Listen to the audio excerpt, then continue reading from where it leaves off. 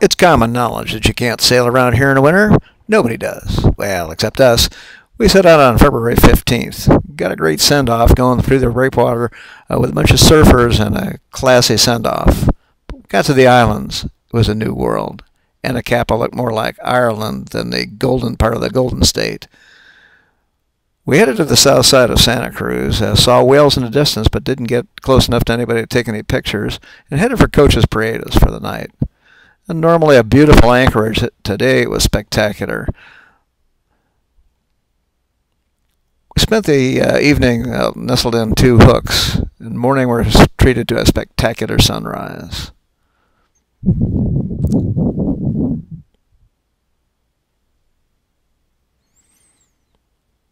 It was warm all night with a valley breeze of about 8 or 10 knots.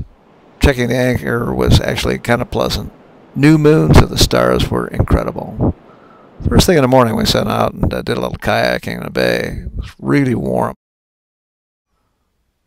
We explored the bay and the surrounding area for quite a while and got some really beautiful pictures.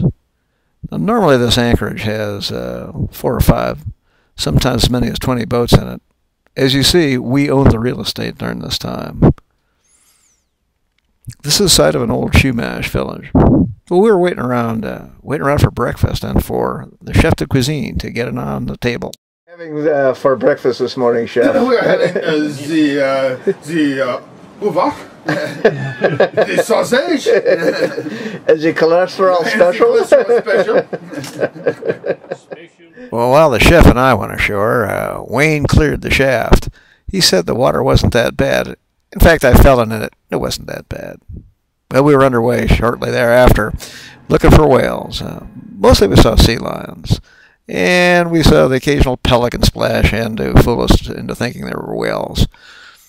In the distance, we finally saw some, and as we came through Anacapa Passage, we finally found a gray whale. And these critters run to uh, about 50 feet and 36 tons or so. There were three animals in this pod, and they were headed up the north shore of Santa Cruz. Off in the distance, we could see several other pods, uh, a mile or two away. Hard to estimate the distance. Here you see one sounding. These are bottom feeders, uh, although we doubt that they do much feeding on their way north. And Bill got some classic shots of the fluke disappearing in a sequence of stills.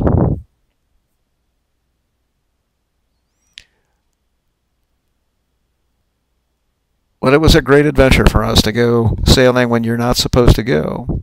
We had a great time. Hope you enjoyed uh, coming with us.